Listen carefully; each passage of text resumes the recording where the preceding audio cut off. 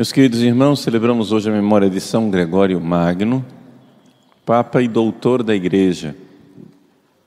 São Gregório Magno foi Papa numa época em que a civilização ocidental estava em decadência e desempenhou um papel importantíssimo na, no esforço de salvar não somente as, as almas, as pessoas, e cuidar do povo, das almas que lhe foram confiadas na Diocese de Roma e como Papa na Igreja do mundo inteiro, mas também para salvar a civilização. Explico. O Império Romano, ele fez o percurso que geralmente fazem todas as civilizações. Se nós olharmos na história das civilizações, existe um caminho de crescimento, apogeu, decadência e queda. Esse é o caminho das civilizações humanas. E o Império Romano fez tudo isso. Quando chegou o cristianismo, o Império Romano estava no seu apogeu, iniciando a decadência. Mas enquanto decaía a civilização romana, o império, o cristianismo, por baixo, ia convertendo as pessoas e fazendo o seu trabalho evangelizador, o seu trabalho de conversão das pessoas. De tal forma que quando caiu o Império Romano, não aconteceu um vazio total. Caiu aquela civilização pagã, caiu aquele império, mas porque o cristianismo tinha iniciado o processo de conversão das pessoas, havia, sim, naquela época, milhões de pessoas que tinham recebido o Evangelho, que tinham recebido a palavra de Deus tinham se convertido e então, com a vinda dos reinos bárbaros, das tribos dos bárbaros que invadiram a Europa, havia ali um substrato, ou seja, a civilização romana faliu, mas a civilização não desapareceu. Não havia só barbárie, havia o cristianismo. E com isso, São Gregório Magno, que não era político, não era imperador, não era salvador, digamos assim, da situação política de um império, mas sim papa, desempenhou um papel importantíssimo, porque enquanto havia confusões e mais confusões no campo político, a as invasões dos bárbaros. O próprio Papa teve que enfrentar invasões de Roma, né? evitou algumas, outras teve que enfrentar, teve que enfrentar a situação da peste, das doenças, etc, etc. Mas havia a fé. E no meio da confusão política, o Papa pôde liderar essas pessoas, de tal forma que o cristianismo foi aos poucos se reorganizando. O Papa Gregório Magno colocou então ali, através do seu processo de evangelização, as bases do reerguimento daquilo que será depois a cristandade medieval. Por que eu estou gastando esse tempo explicando a história dessa forma?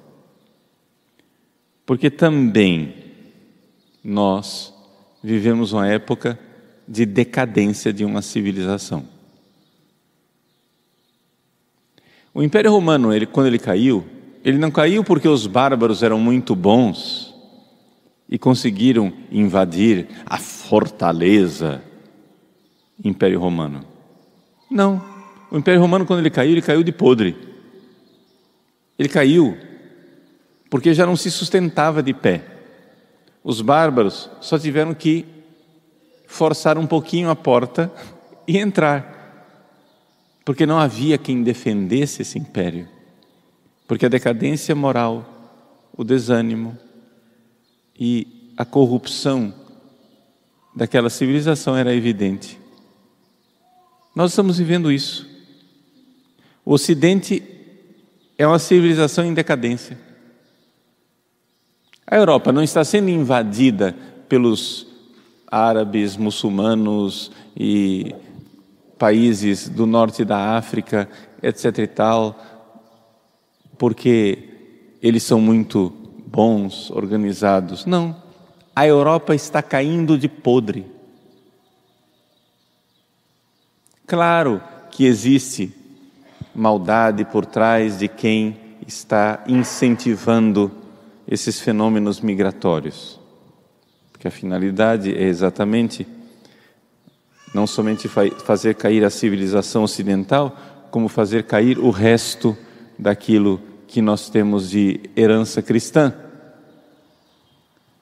Mas, deixando de lado essas realidades, o que nos importa, e aquilo que é realmente a nossa parte, é que, mesmo que tudo venha abaixo, nós temos a mesma missão de São Gregório Magno e dos cristãos da sua época.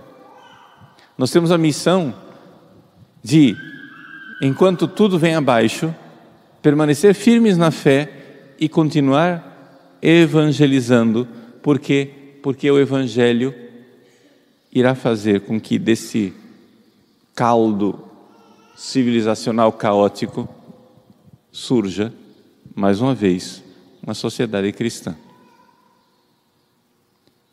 Nós vivemos num tempo de muita desorientação. Nós vivemos um tempo em que, não somente na Europa, no mundo inteiro, e talvez especialmente no nosso Brasil, as pessoas ficam se perguntando qual é o destino desse mundo e o destino desta civilização? Qual é o destino do nosso país?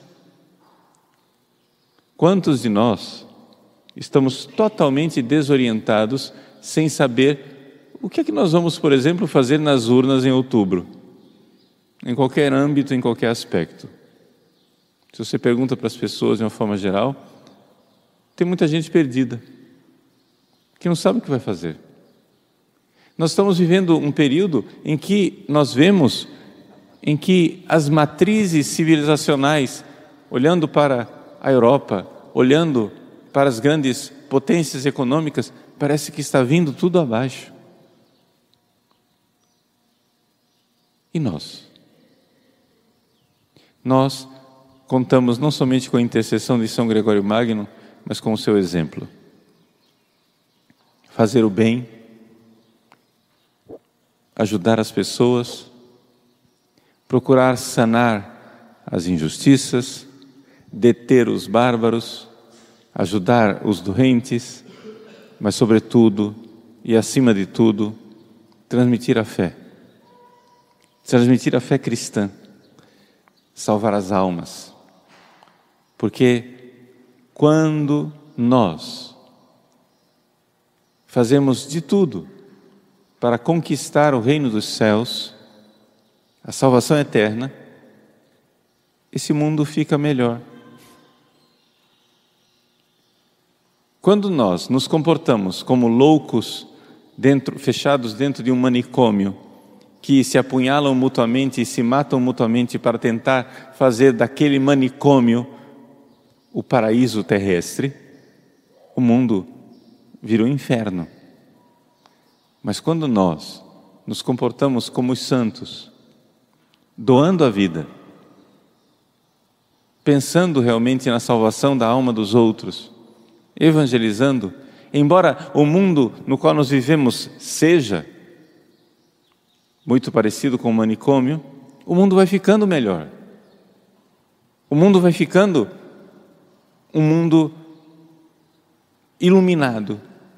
Por quê? porque então nós somos aquilo que Deus nos destinou que fôssemos: sal da terra e luz do mundo.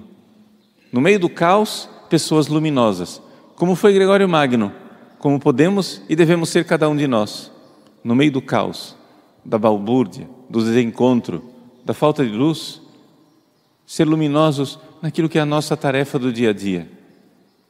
E ao invés de sermos simplesmente habitantes de um manicômio tomados pela loucura, podemos ser os bons samaritanos que veem as pessoas doentes, doentes espiritualmente, e vamos aos poucos servindo e orientando para que as pessoas se encontrem e dali surja uma nova civilização, a única que não terá apogeu e decadência, uma civilização guiada pela luz de Cristo.